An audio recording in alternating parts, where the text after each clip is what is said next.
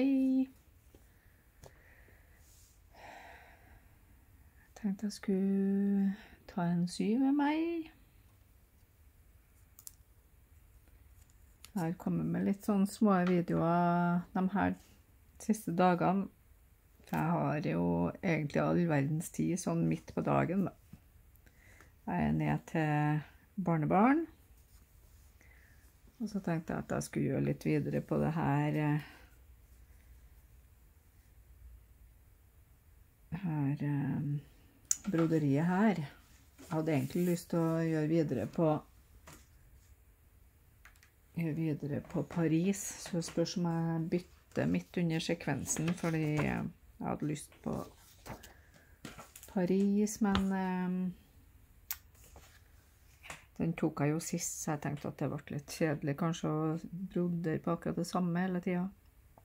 Herre er Au fil de Necois, tror jeg det uttales. Det er noe fransk, da, fra Jardin Privé.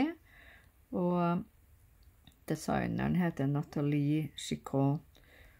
Um, det er en sam... Samsøm, er det de kaller det på, som broderigreier? Vet ikke helt, det. Det er en sal, i hvert fall. Stitch along, sy sammen. Der de gjør det fra oktober til oktober. Um, jeg starta fra starten av, da. Her er jo egentlig liksom et fuglehus for hver måned. Man ser jo det, for desember er liksom sånn julete, og her er det på sommeren og sånt. Men jeg starta fra starten av, jeg, da. Så når jeg kommer Jeg tenkte på For jeg starta januar, januar, februar, mars, april, mai. Mai er jeg egentlig nesten ferdig med. Det er bare det der hersens uh, gjerde. Det er så mye hvitt. Og jeg har ikke vært noe kjempeflink å brodere med de her eh, hvite her, altså. Jeg tenkte at det får være et sånt shabby, shabby gjerde. Gammelt gjerde som holder på å dette ned. Jeg liker ikke å strikke veldig mye. Jeg strikker, jeg liker ikke å sy eh, veldig store parti med hvitt eller med svart. De to fargene syns jeg er trasig å brodere med. Men i hvert fall, man får jo gjøre litt videre her nå, da, mens jeg sitter og jobber litt med dere, skulle jeg si. Og så kan det være at jeg tar frem den Parisen litt også, da.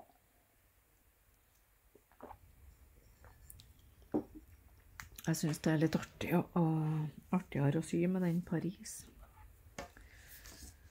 Skal vi se hvor er det blitt av eh, utstyret mitt, da.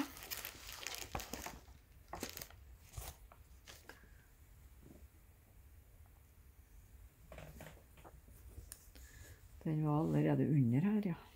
Sånn er det.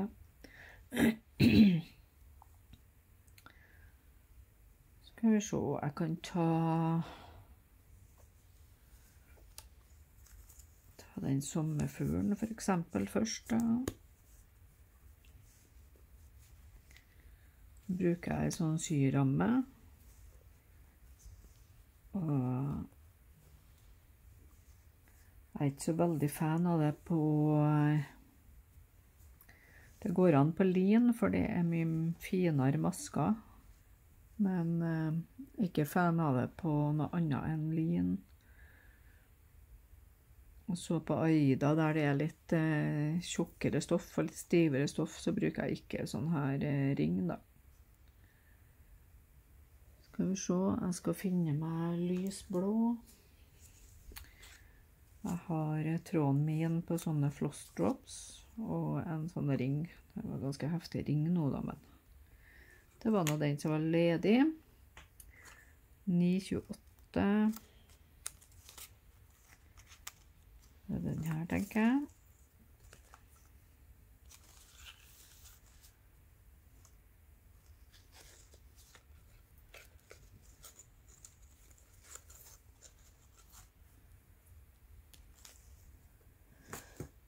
På dette broderiet så syr jeg med to tråder eh, To tråder med med tråd. To, to tråder og over eh, to tråder, altså to over to, da.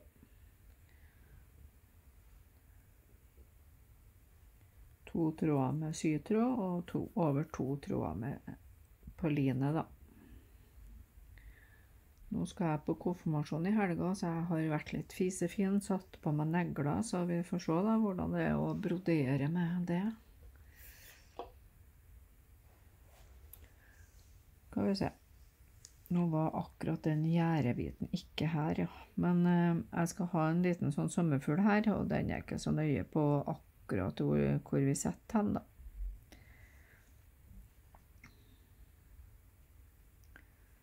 Eh, det setter den her.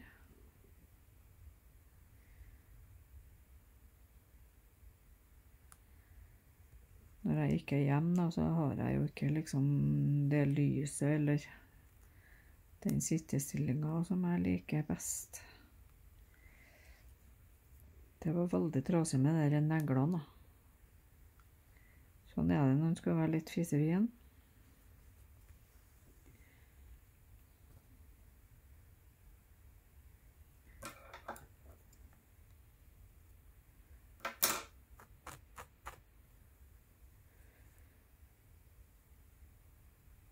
Jeg er jo ned til barnebarna nå. Det er jo himmelsbrett i morgen. Kristi himmelfart. Og så eh, har de fri også på fredag, da. Så i dag så er det liksom siste dag med at de er på skole og barnehage. Nå har de, nå har de jo vært her siden fredag. Og eh, dattera mi, mora deres, da, eh, dro til New York på lørdag.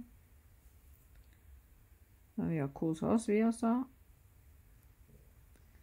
Søndagen var det jo herlig vær. Det var jo 26 i skyggen eller noen ting. Da satt vi ut hele dagen, og Oda plaska i bassenget. Men i dag så var vi ned på tre grader igjen, altså så det er ikke akkurat stabilt, for å si det sånn.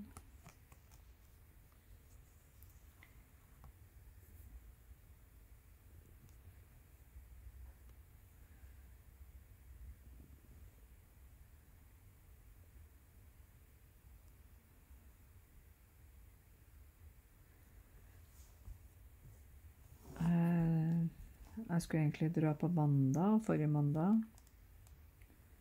Men eh, bilen min eh, ville ikke. Fordi eh, håndbrekket satte seg på i skikkelig lås. Det er jo litt farlig, så da måtte jeg låne bil. Da ble det ikke dratt før på onsdag. For bilen min måtte jo settes på verksted.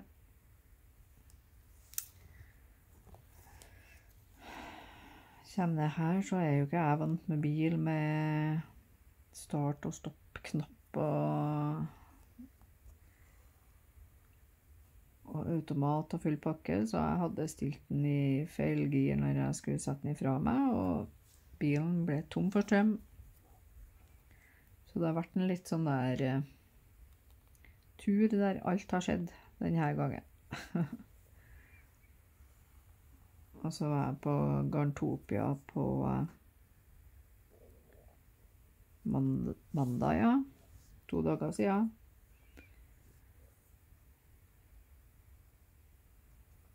Og eh, når vi kom ut på parkeringa igjen, da, så hadde jeg jo fått parkeringsbot fordi jeg hadde blingsa med bilnummeret når jeg skulle registrere på parkeringsappen.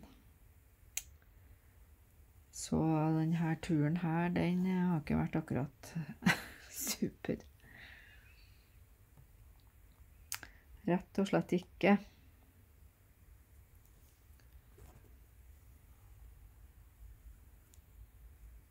Og på fredag skal jeg til Oslo, da, så da lurer jeg på om jeg skal bare I hvert fall ikke ta med meg bil, og heller ta og ta buss eller tog inn.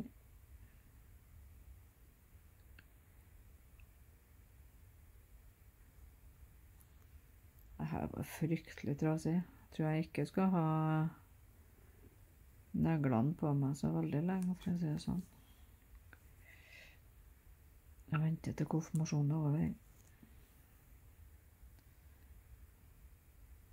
Det er det med vanen der, da. Jeg brukte å ha det ganske mye før, da.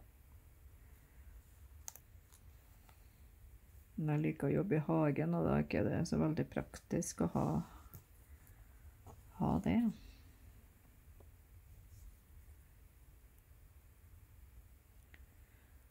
Skal vi se nå. Her ble det noe feil, faktisk, så jeg tror vi må ta opp litt.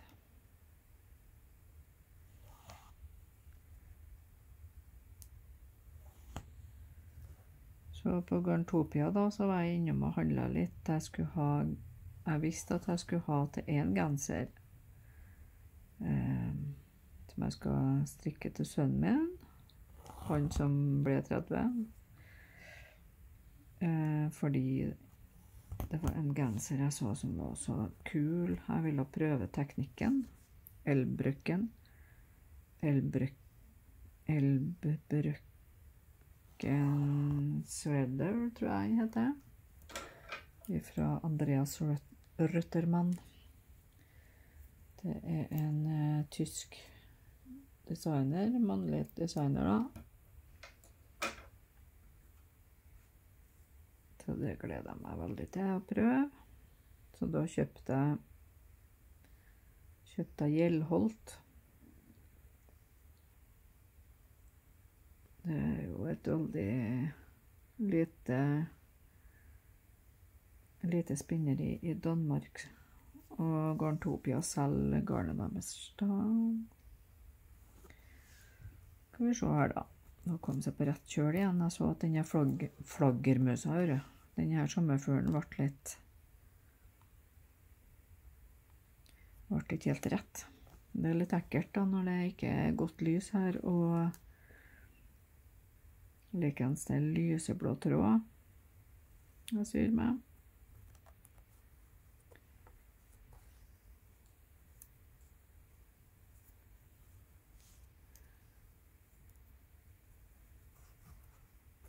Dette her broderiet er det jo veldig mye fargeskift på. Uh,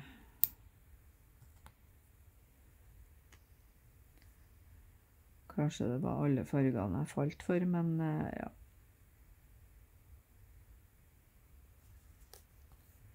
Det var litt artig òg, når det var noen, som, noen podkastere eller fossdubere som jeg ser på, som starta den her eh, sam... Eh, Stitchalongen, da.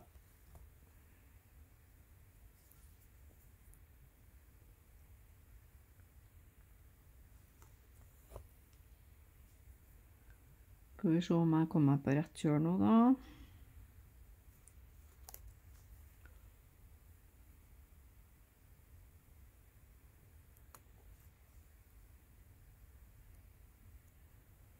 I dag er det onsdag, da er det egentlig broderidag for meg. da. Jeg har en sånn dag som jeg i hvert fall skal brodere på det der store broderiet mitt, den fullcoveren min. har jo kommet 6000 eller noen ting eh, sting har jeg gjort på det broderiet. 0,84 Det er så sinnssykt mye mange sting det skal være til slutt. Skal vi se om jeg egentlig er i kamera her.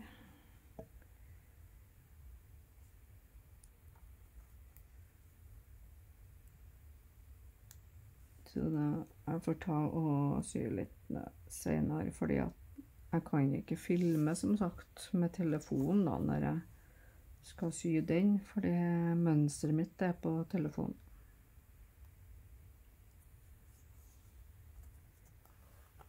En dag så tenkte jeg jeg skulle prøve å sette opp eh, PC-en og ta opp med PC-en. Og få demonstrert litt det her broderiprogrammet som jeg bruker. Pattern Keeper. Eh,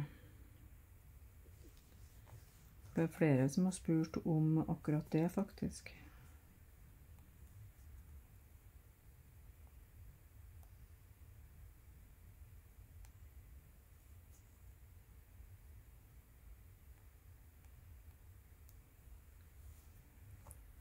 For det er veldig, veldig greit å bruke eh, pattern keeper når man broderer, egentlig, da. Ja, det. Da kan man krysse av der og, og finne symbol. I hvert fall når det er full cover, altså et broderi der du syr hele hele broderistoffet ditt blir dekka med sting. Da er det gjerne veldig mange farger på lite plass, og da er det greit å ha en plass der du kan følge med på det, da.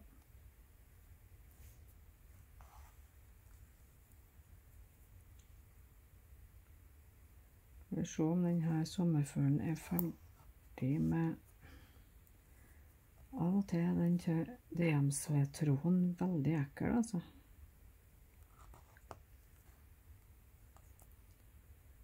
Skal vi se.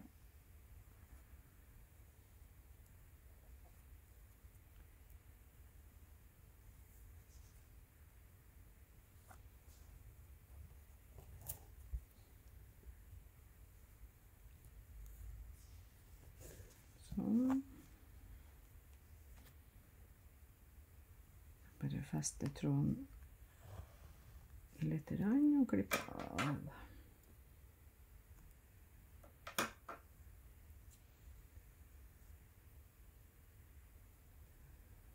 Da skal jeg ha den eh, mørkebrun.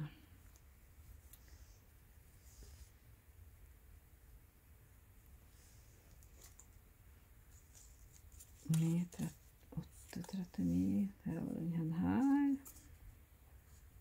Og sier jeg skal bare ha to Jeg skal bare ha to to sting, men nå. Da drar jeg ut bare én tråd, så legger jeg den, i, legger den dobbelt.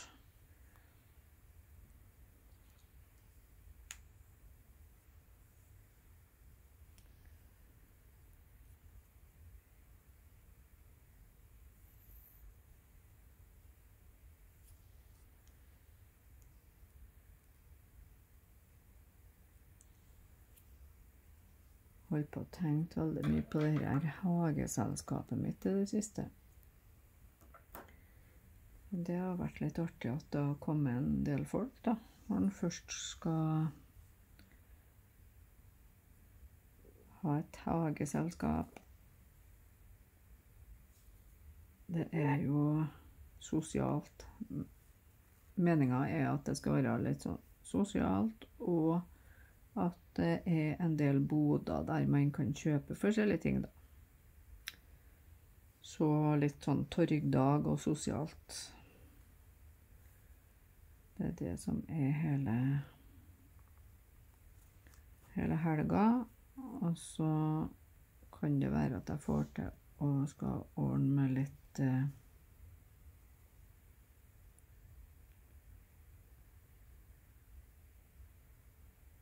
ordne med litt uh, intervju eller et eller annet. Vet ikke helt. Skal vi se. Nå skal jeg bare ha én. Så nå har jeg sydd sting med to. Da fester jeg tråden litt. Og nå skal jeg bare ha én, for jeg skal ha sånn som heter for backstitch, eller omrammingssting, eller jeg vet ikke helt hva en skal kalle det på norsk. Og den skal jo bare være med én tråd. Nå er tråden festa. Nå tar jeg klippe ene, en, ene tråden av og drar nåla litt av. Da har du bare én tråd. Den skal jeg sy sånn backstitch med nå, da. Og der.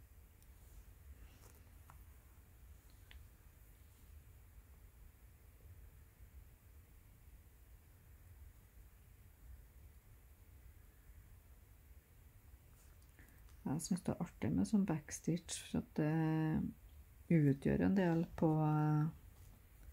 hele uttrykket, liksom. Sånn. Og så skal det være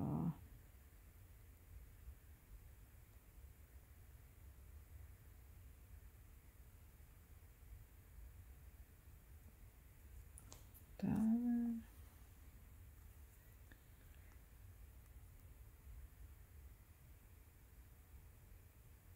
Så er du nysgjerrig på det hageselskapet, så vil jeg råde deg til å gå på Facebook eller Instagrammen min og så se på arrangementet. Det er 9. til 11. august. Og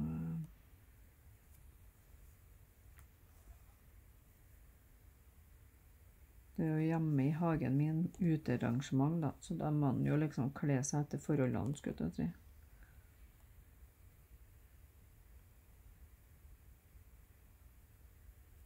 Så det skal jo bli litt gøy. Det er jo ganske mange som har meldt seg på allerede. Kjempeartig.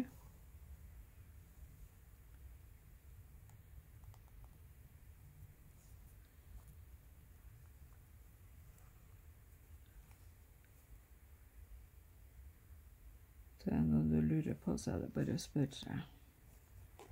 Spørre, hører du? Jeg vet jeg, Når jeg er her nede, så blir jeg litt sånn uh,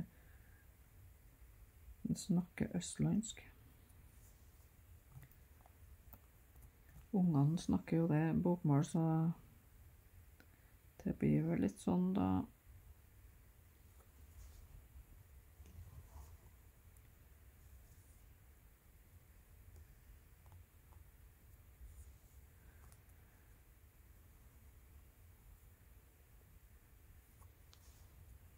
Her er vel liksom eh, banen til sommerfuglen.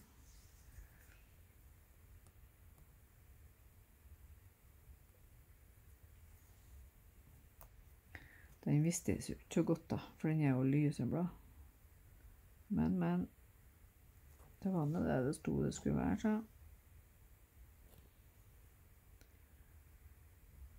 Sånn. Og så skal det være litt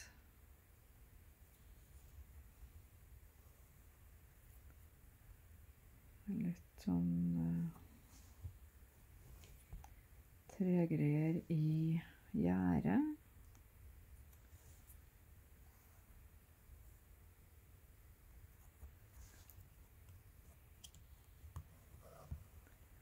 Det gjør seg litt med, med sånn type sting, da. Nå tar jeg bare litt på gefilen over her, da. Akkurat de her stingene.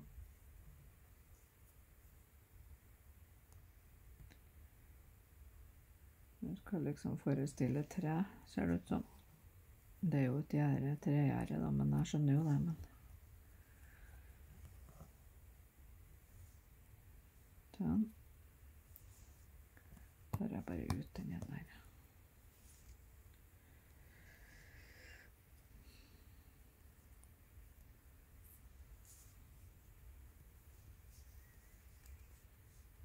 Skal vi se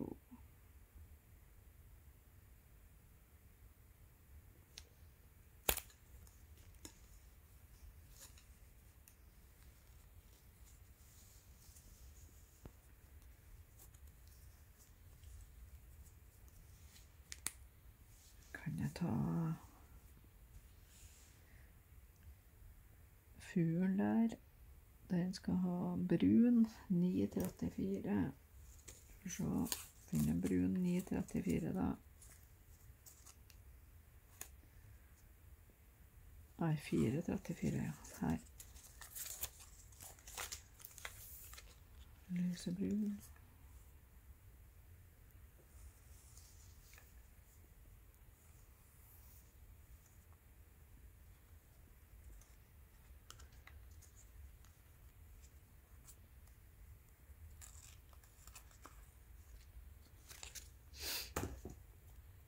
Skal vi se. På fredagen hadde jeg tenkt jeg skulle til Oslo, ja.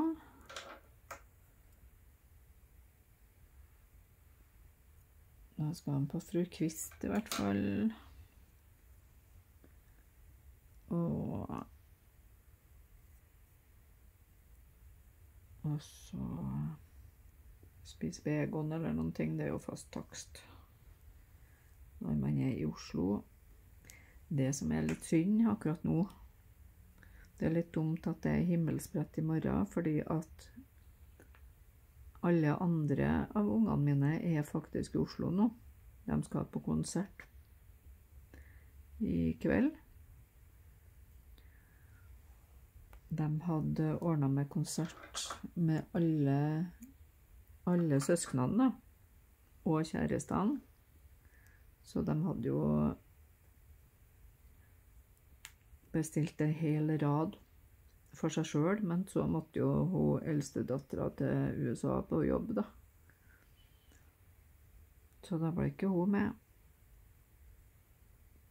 Eh, jeg prøver bare å tre en tråd nå.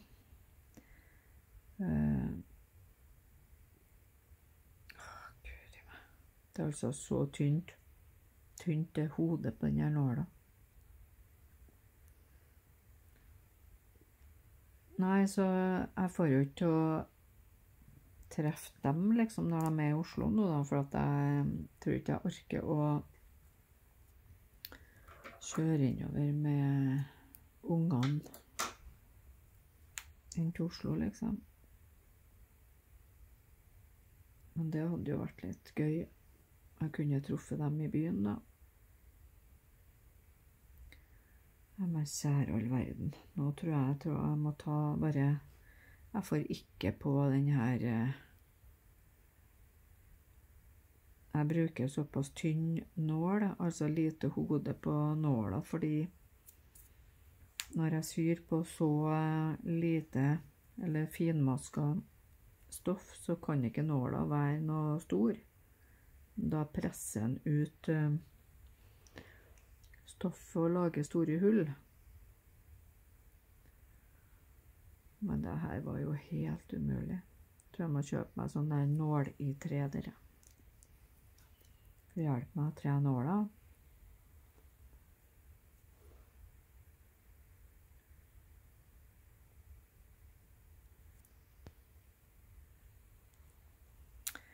Bruker fem minutter på å tre nåla, vet du. Da går det jo litt tid.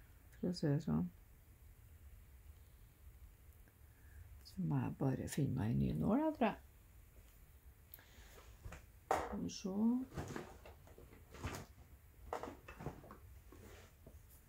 Nå tar den nåla jeg brukte på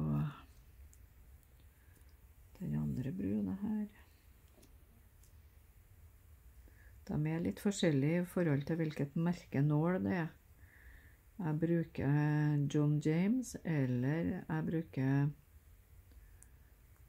Se, nei. Og så bruker jeg noe som heter Peacemaker. Og så har jeg noen som heter for uh, Bohin.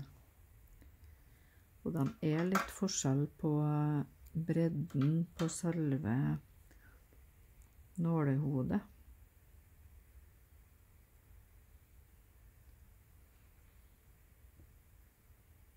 Og jeg opplever også at um, noen av fargene kan være litt vanskeligere.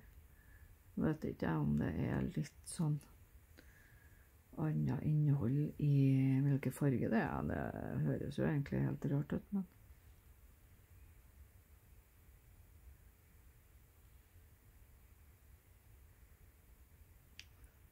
Det skulle nå være veldig vanskelig, da. Skulle jeg visst ikke lage den her eh, fuglen.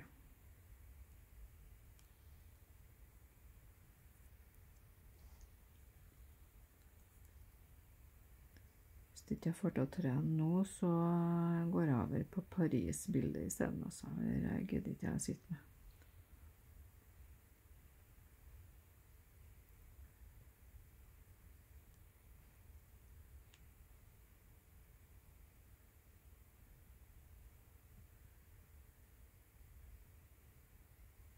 Nei, det ble ikke noe mer.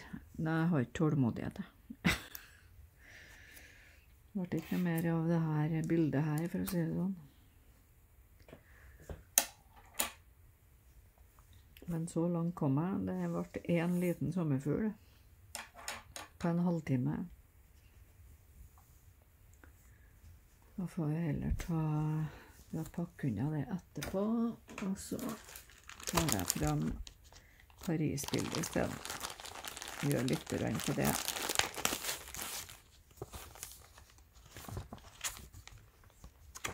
Det er jo Det er jo det her. Eiffel Quaker.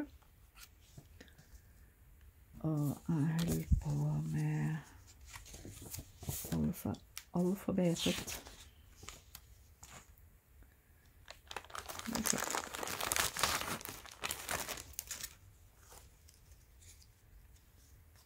Å syre med denne silketråden her. Nå se om den er bedre å tre, da. Jeg tror ikke jeg har, noe tråd på nåla mi. Og så langt har jeg kommet her, da. Så få alt inn i bildet. Sånn. Så jeg driver på med bokstavene.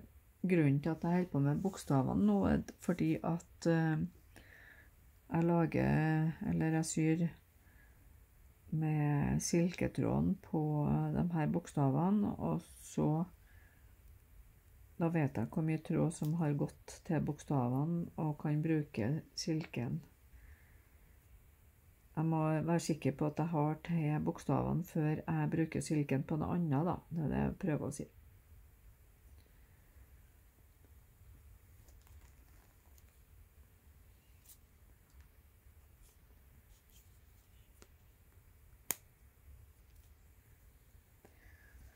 Så Da prøver vi igjen, da. Og trene år, da.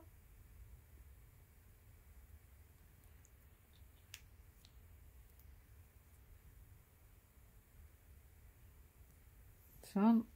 Der ble det, vet du.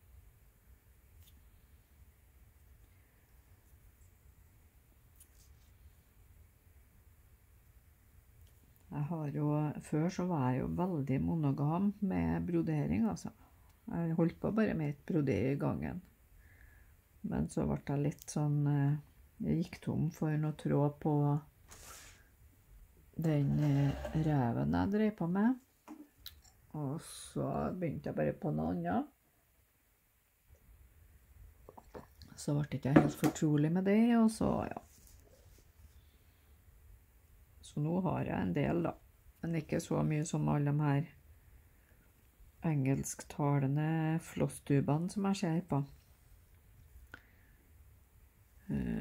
For det De har sånn De kan ha over 100 de driver på med i gangen, de. De roterer, liksom. Mange har en de holder på med i de og de ukedagene. Så når de er ferdig med et av det prosjektet som de holder på med den ukedagen, i den måneden, så kommer den ikke fram før den ukedagen den måneden til neste år. Jeg har aldri kunnet komme til å holde på sånn som det der. Jeg vil jo ha det ting ferdig. Da er det prosessen da, som eh, de liksom driver på med.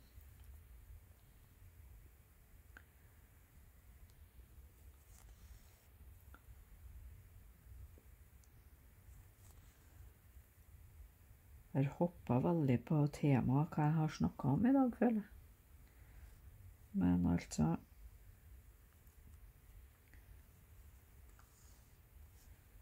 Jeg har jo hatt en idé egentlig nå et års tid, at jeg, jeg har jo også skrevet opp spørsmål og sånt som jeg tenkte at jeg skulle intervjue folk rundt om i, i forskjellige garnbutikker, fysiske butikker.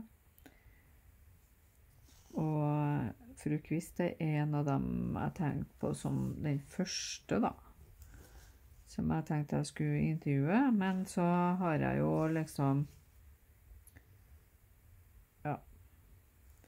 Har aldri spurt når det passer for dem, og om de har lyst til å bli med på det, eller Ja, jeg har liksom ikke kommet lenger enn til å skrive opp alle Det er ti spørsmål jeg tenkte jeg skulle ha, da. Og filme og sånt. Men eh, det kan være at det blir bare at jeg filmer og tar bilder i butikken, og så får jeg dem til å svare på spørsmålene sånn skriftlig. Men eh, har dere syntes det har vært litt artigere å ha det som et intervju i form av film, eller eh?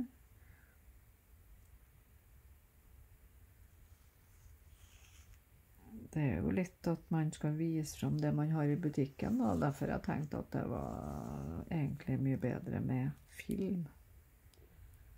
Nå har jeg jo dratt med meg både stillas og men ikke all eh, lyset som jeg har.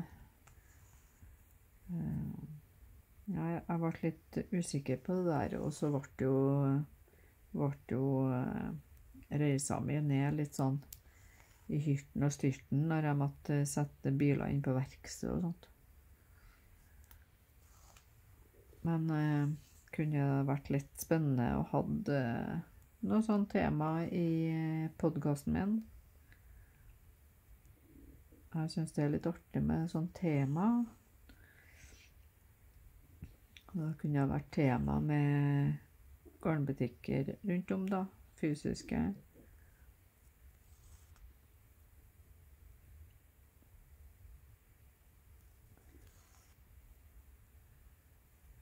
Men også at de har nettbutikk, da, sånn at alle kan ha muligheten til å handle fra akkurat dem.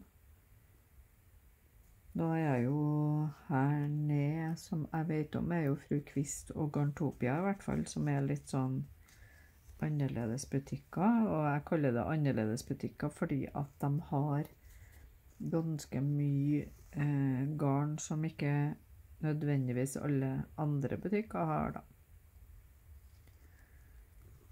Sånn som i Trondheim så er det jo Unikt garn, er jo en sånn type butikk.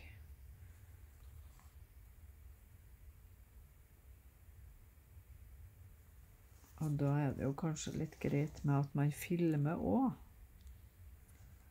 Hvis det er noen som har noen synspunkter på det, så er det bare å rope. Jeg skal jo innover på fredagen, og da lurer jeg egentlig på at jeg skal kanskje prate med dem som er der da, da. For å høre, og da eventuelt dra inn på mandag for å gjøre det intervjuet da, da. Det har jo vært en idé. Da kunne jeg ha spart og dratt hjem før på mandag eller tirsdag, liksom. Hvis ikke, så drar jeg hjem isteden på søndag. Jeg har jo vært ned her nå ei stund, og vi er jo midt i skulle til å si våronna, men eh, det er på en måte det, da. For at det jeg har kjøpt meg jordfres så skal Jeg har jo åker. Jeg har jo hatt åker i alle de her årene jeg har bodd i det huset jeg har gjort nå, i 17 år. Men jeg har lånt jordfres hele tida, så det er greit å ha en egen. Men hvis det fru Kvist og dem har anledning til å ta et intervju, så å være med på det. Det er ikke sikkert det går på fredag når jeg først kommer på fredag og spør, da. Det skjønner jeg jo. Men at vi kunne ha det avtalt til mandag eller eller noe sånt. Det hadde vært litt artig å gjort det før jeg dro hjem igjen. Eller så blir det ikke før jeg vet ikke neste gang jeg kommer nedover, Larsen.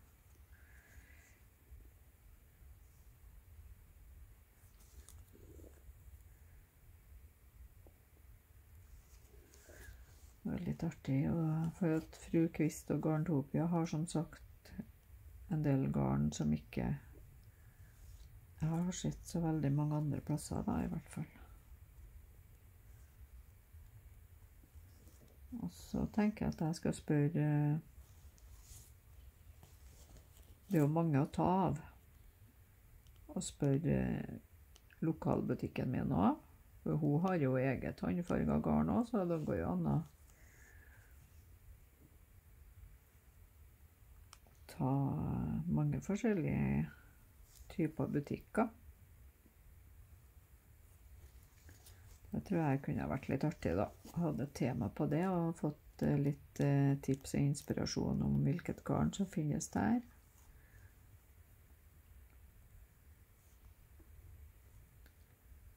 Jeg har som sagt det er lenge siden at jeg satte meg opp alle de her spørs spørsmålene. Jeg har ikke kommet det lenger der. Det er som regel litt fullt opp når jeg først er sørafor. Både med barnebarna og folk jeg har lyst til å treffe. Jeg har jo allerede vært på to, to uh, treff, liksom.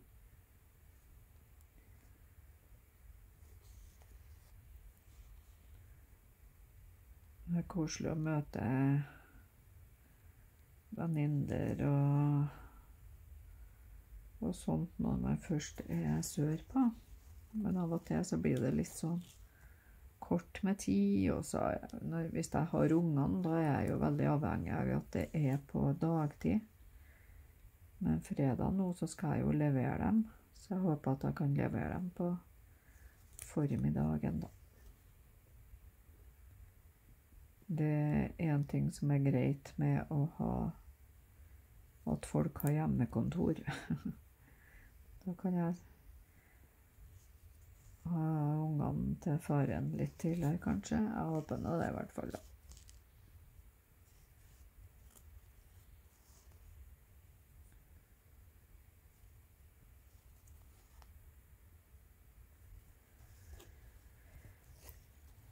Så når jeg var på Garntopia, ja, så eh, kjøpte jeg Gjeldholt, og jeg kjøpte litt eh, En av favoritt-mohairen min, som er fra Knitting for Olive. En nydelig farge.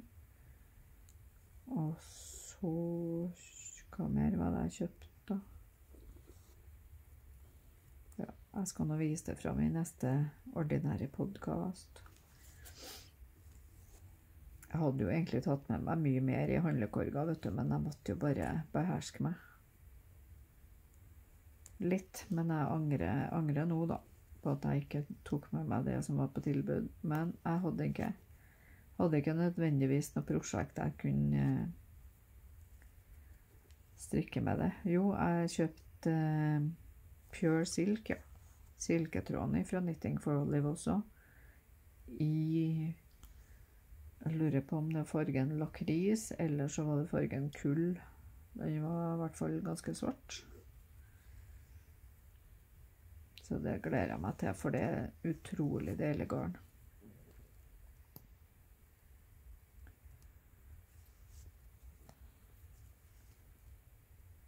Den W-en her var litt svær, den.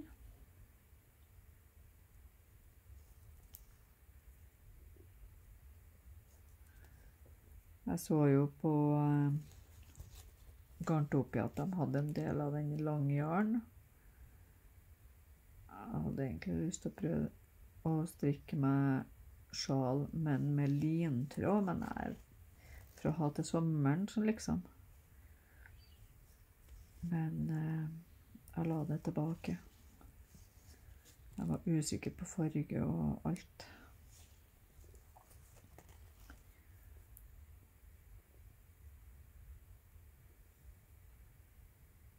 Men det finnes vel nok av alternativer på fru Kvist til fredag, tenker jeg.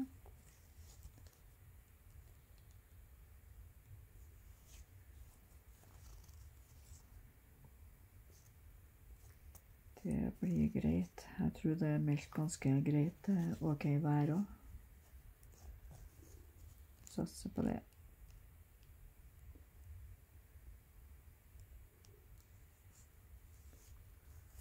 Så nå kommer jeg til tre kvarter. Jeg vet ikke hva, hva er egentlig OK lengde på en sånn sky med meg. Det var jeg litt sånn usikker på. Jeg har brukt å lukke på rundt en time, da.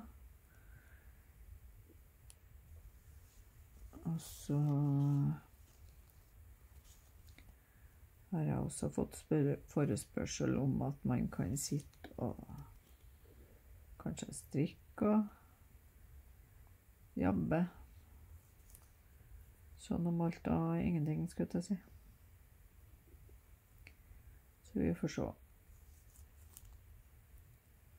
Jeg har nå i hvert fall de her Sky med meg-videoene, da, for jeg syns ikke Jeg har ikke sett at det liksom er noe på norsk. Det er veldig masse ut eh, engelsktalelig med sier med meg finnes det veldig mange.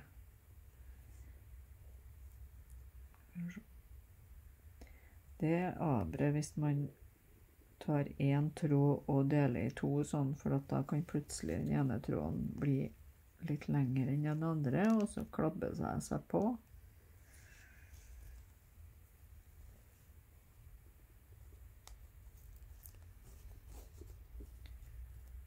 Så gjør jeg ferdig den her W-en nå. Håper at jeg, at jeg rekker med det garnet jeg har. Jeg skal nå bare ha tre stinger nå. En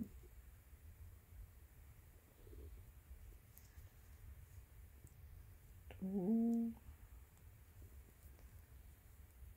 Så blir det tre.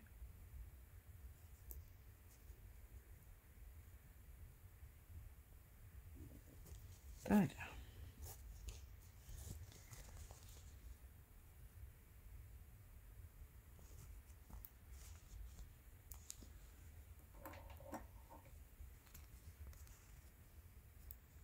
Sånn.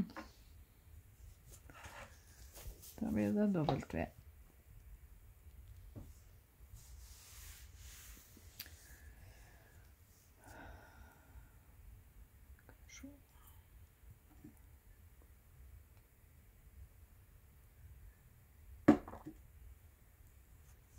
Og prøve å tre en ny tråd, da.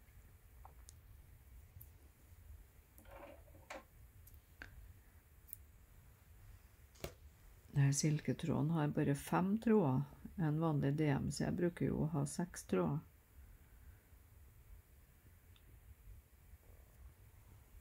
Så det blir jo udelelig, men nå, nei, nå sydde jeg bare med én tråd, så da går det opp allikevel.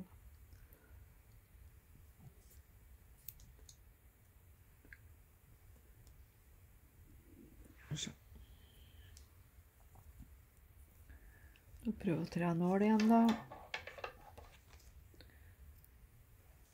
Skal vi se om de har sånn nåltreer på fru Kvist. De har jo så mye forskjellig der. Kan være de har det.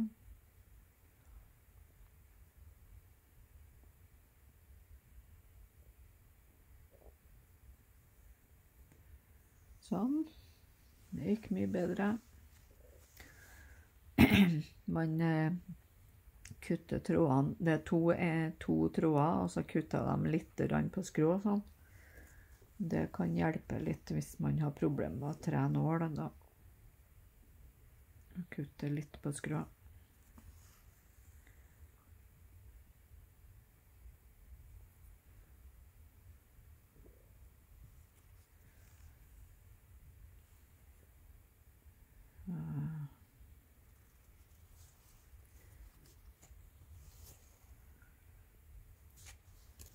Her er jo Aida-stoff. Det er jo litt sånn Det er jo kun fordi at jeg fikk tak i det her fine stoffet som det er trygt Paris på, da. Eiffeltårnet og Paris er jo i stoffet. Hvis dere ser Her er jo Eiffeltårnet, hvis det vises, da. Og så er det litt skrift og rose og sånt.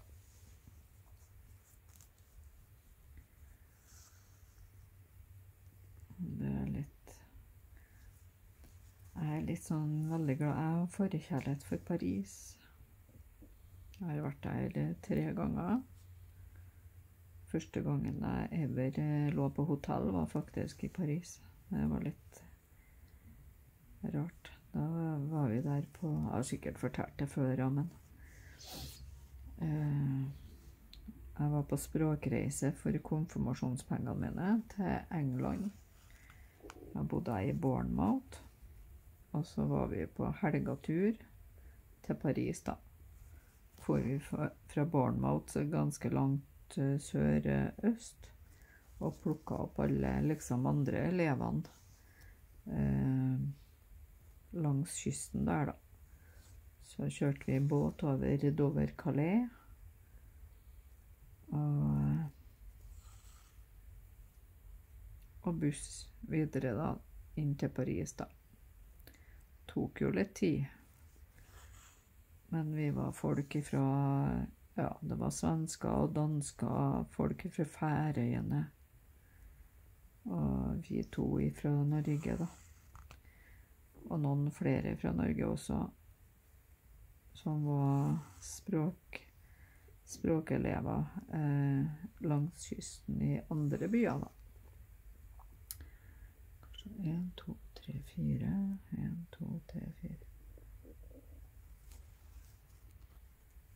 Så det var en eh, 19 dagers tur med Kjæreborg i Bournemouth. Og så var vi på dagstur til London. Vi var på dagstur til Bath. Og som sagt til Paris ei helg, da. Det var en kjempeopplevelse, hele turen. Jeg er veldig usikker på om at jeg har tørra å sende til vei ungene mine når de har vært 15 til, på 19 dagers tur. Men eh, det gjorde jeg nå. Men jeg har betalt hele turen sjøl med konfirmasjonspengene mine.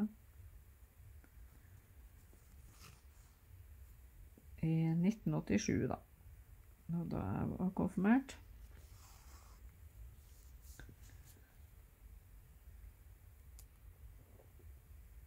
Så det var veldig artig. Og den gangen så brukte vi jo vanlig eh, fotoapparat med filmruller inni, og jeg skulle fremkalle tror det var fem ruller jeg hadde brukt på den turen. Og veldig mye fine bilder på den siste rullen, da, som ikke Som hadde kommet bort hos eh, tror det var Foto Knutsen, eller hva det heter. Jeg fikk ikke igjen alle bildene mine og var så lei meg. For det var liksom ifra London-turen pluss siste kvelden da, på stranda hadde vi sånn bonfire nede på stranda og Ja. Mye folk man ikke treff, treffer igjen, og ja, det var litt sånn trist akkurat det, da. Men når vi nei, når vi var i London, da, så var vi innom Madame Tussaud, f.eks. Det var jo kjempeskøy å få oppleve veldig mye. Vi, jo, vi bodde jo hos, privat hos en eh, familie. Og jeg husker adressa ennå, det er veldig rart. Siden det er så lenge siden. Eh, og så gikk vi på skole hver dag. Eh, alt på engelsk, da, selvsagt. Og, eh, og så gikk vi ut vel veldig mye ned, ned på piren, da, ned i selve sentrum av Bournemouth, da.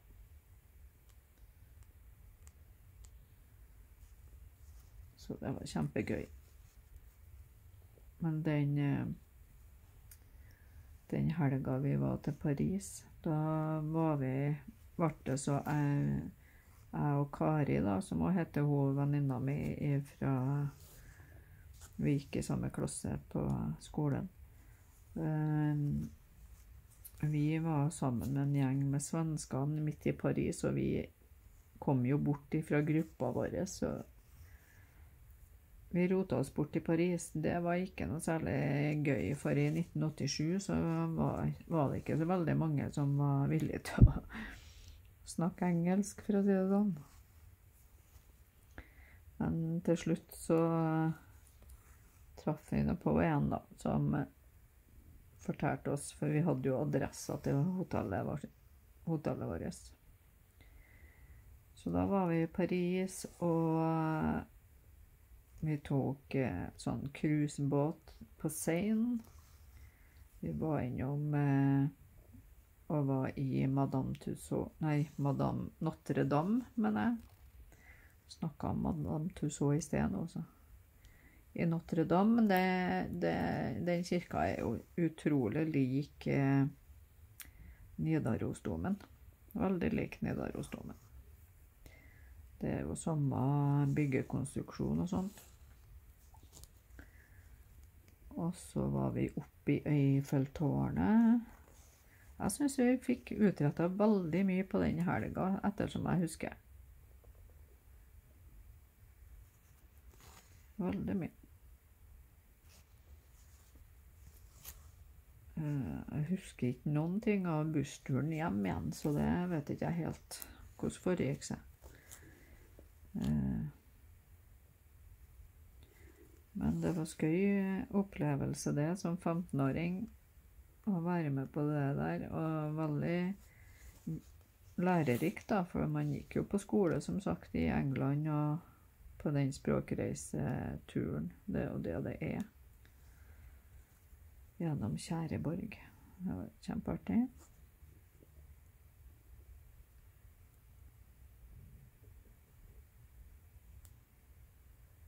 Tror ikke vi fikk, fikk ikke så veldig mye ut av London-turen, da, føler jeg ikke. Det var liksom og stort inntrykk med den eh, jernbanestasjonen som vi kom inn til. Det var det. Og så Madame Tussauds, da. Ellers så var vi på en busstur som liksom kjørte oss litt rundt. Jeg husker Big Ben og litt sånn, da, men eh, ja. Piccadilly Circus og men ellers, det var så kaldt. Det var bare ti grader og masse tåke midt på sommeren, så det var lite å hente fra London, føler jeg. Så der kunne jeg tenkt meg igjen, da. I hvert fall nå når jeg er veldig opptatt av garn og sånt. Og der har de jo en del fine butikker, har jeg skjønt. Der var X-en ferdig, ja.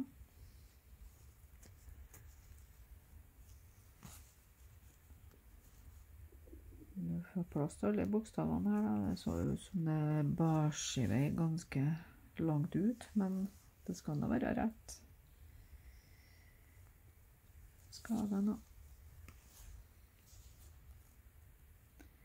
Er det noen flere som har vært på sånn språkreise? Jeg syns det var kjempeartig, og veldig mange nasjonaliteter på, på den eh, Paris-turen, men eh, på skolen vår der var vi bare norsker da, som kom fra alle kanter av landet, liksom. Og det huset vi bodde i, var ganske stort, typisk engelsk hus. Eh, og de hadde tre soverom som de leide ut liksom, og hadde språkreiseelever, tror jeg. Eh, I hvert fall to av dem var språkreiseelever rom, og så en, en som bodde der liksom Som eh, på flere flere måneders eh, Over noe skole, det òg, da, men Så de som hadde huset der, de var rause personer og hadde vel sin innkom med å leie ut og ha folk leve hos seg, da. Vi hadde et ganske stort størrelse på soverommet, men det var køyesenger.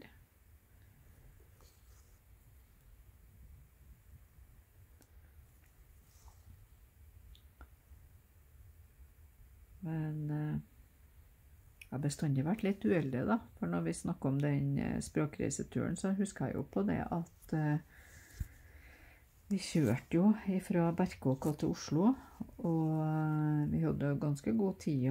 Men eh, når vi kommer fram og skulle lete opp passene våre Jo, hvem var det som hadde glemt igjen passet sitt? Og i det passet, der var det jo visum som var nødt til å ordne en god tid på forhånd med sånn stempler og sånt inni passet, da, til Frankrike, for da var man nødt til å ha visum dit. Og det var jo Så vi måtte jo skynde oss til Grønland, da, på politikontoret, men de hadde egentlig stengt, da, men vi fikk fikk snakka med noen og forklart situasjonen, og det gikk i orden. Men Skal vi se, jeg tar ned på Unisen, tror jeg.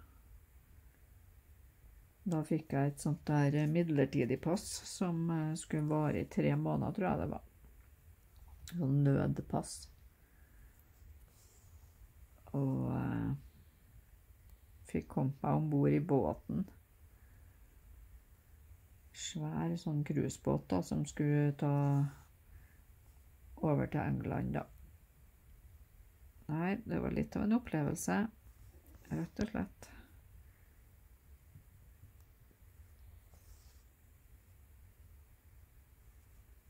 Rett og slett.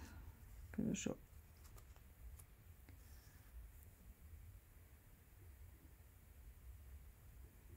Den eh, varer ganske lenge, den her tråden, altså. Og det er jo bra, for så vidt. Jeg tenkte jo jeg skulle ta ut denne tråden og så og avslutte videoen, da, men.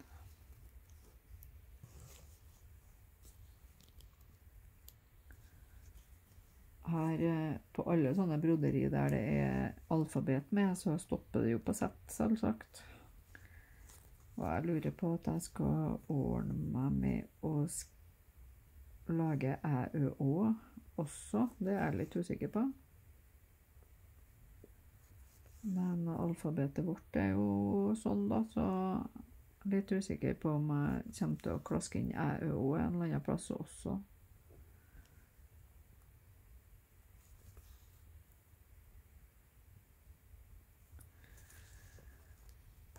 Det blir ikke plass på linja her, da, men eh, det går jo an å finne Siden det er, er noen bokstaver helt øverst her Helt øverst her og sånt, så Det er jo ikke sagt at det må være på linje alt. Vi får se hva jeg finner ut.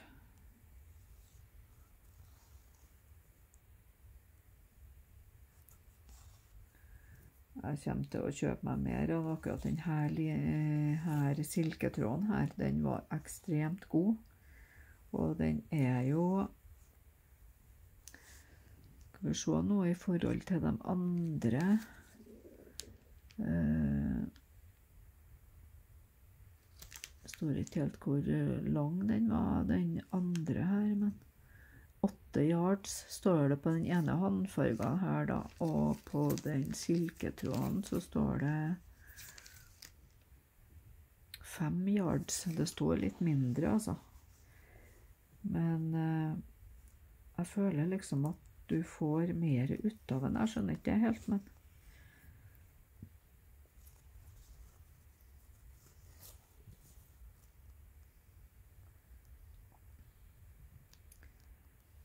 Det var i hvert fall en kjempefin eh, Du dekka stoffet veldig fint med denne silken. Den var ikke sånn superdeilig å brodere med, da, for den er litt sånn tørr. Om jeg skal si Jeg vet ikke helt hvordan jeg skal beskrive den. Den er litt sånn tørr å brodere med.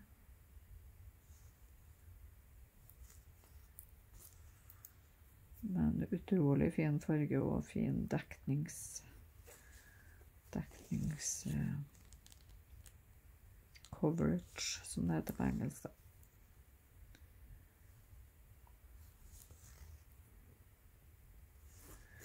Y Oi, nå dunka jeg borti dere. Beklager. Så blir det sett til slutt her, da. Den tråden tar jo aldri slutt. Jeg får sikkert til å sy sett også.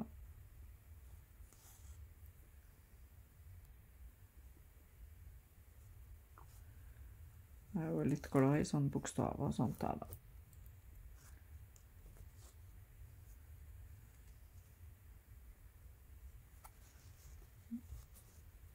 Men det er artig med sånn tråd som skifter litt farge. Denne her er ikke sånn kjempebrå i overgangene sine, men det er alt fra svart til lilla til brun. Ja, det.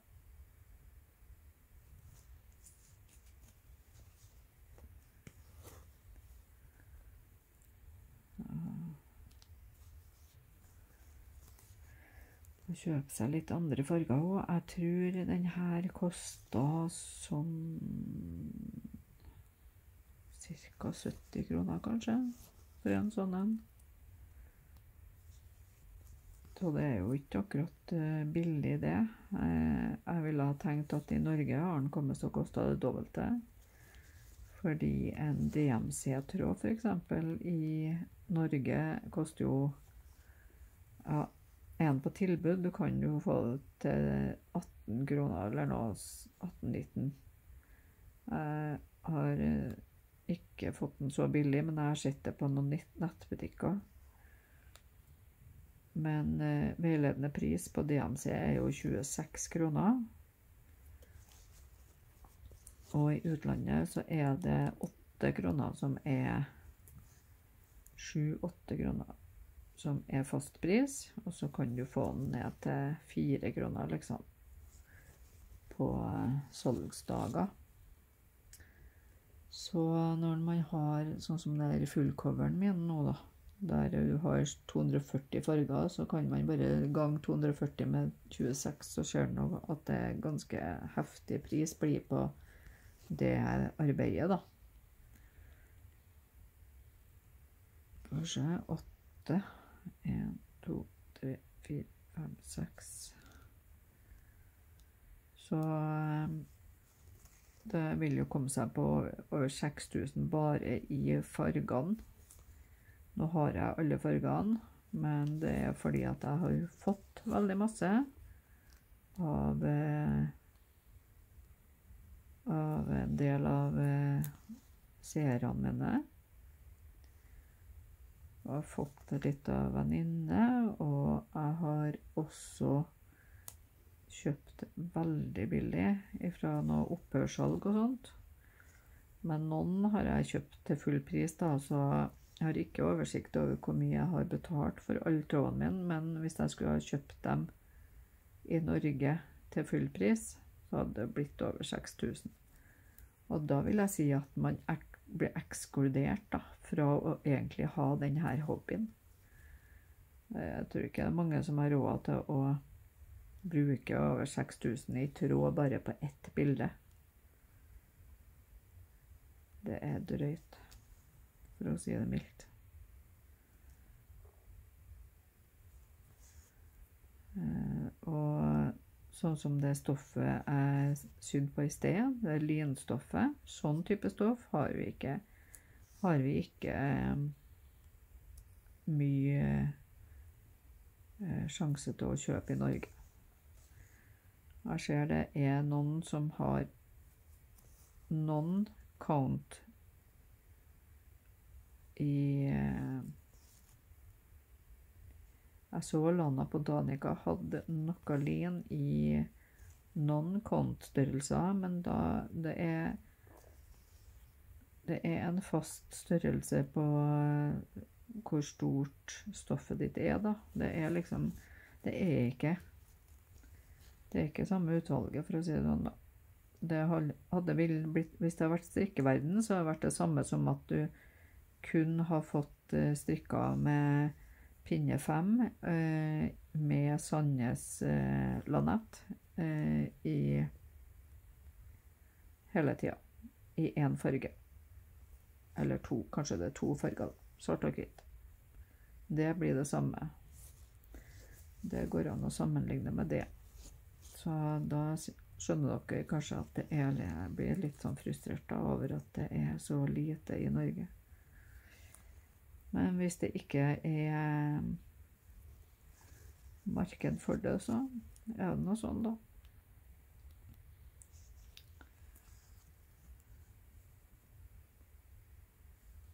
Når jeg går inn på en brodeributikk og spør om de har eh, lin Ja, det har vi. Ja vel, har du 36 kant? Hæ? Da vet de ikke helt hva, hva jeg mener, da. Da vi har 35, ja, men det er ikke noe standard som heter 35, da.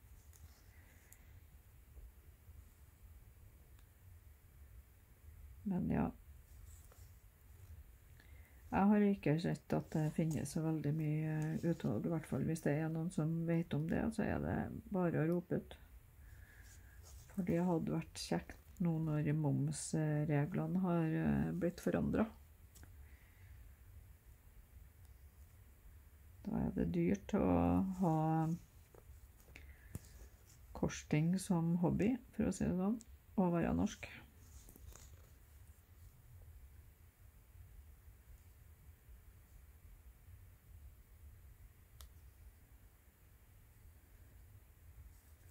Det ble mer enn, tro, mer enn nok tro igjen, ser jeg. Jeg blir ferdig med setten, og ennå har jeg, har jeg igjen. Så den er drøy, ja. Rett og slett. For dem som lurer på hva denne fargen heter, så heter den Antique Black. Antikk svart fra Gloriana. Gloriana Silke. Jeg har kjøpt den på 123 Three Stitch, nettbutikk i USA. Utrolig eh, mye bra på den butikken. Veldig mye utvalg, og veldig rimelig frakt, ikke minst. Men de er ikke Watt eller VOC-registrert, så man må ta høyde for at eh, man må betale toll og moms i tillegg når det kommer til landet. Det er veldig dumt. Sånn. Da tror jeg vi sier at det er det i dag. Da er alle bokstavene ferdige som er etter mønsteret, da. Så vi får se om jeg slenger på jeg òg, men først skal jeg ha inn alle her eh, symbolene.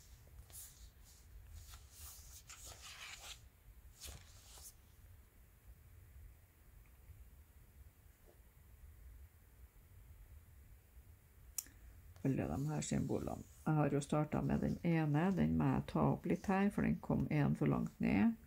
Så har jeg gjort den her. Og fuglen og sommerfugl og sommerfugl der. Og et hjerte der. Veldig mye sånne fine små ting innimellom, da. Det som er fint med Quakers, er akkurat at det er forskjellige typer eh, mønster inni sånne deler, da. Så jeg tenker neste gang at jeg tar den eller den blomsten der, f.eks. Eller nøklene der. Masse å ta tak i. Men Jeg må ta og skrive Tour Eiffel òg, kanskje. Ja. Men det var det i dag, og så håper jeg dere har en fin, uh, fine vårdager fremover til vi ses i neste anledning, enten som Sy med meg broderi-episode eller en strikkepodkast. Ha det bra.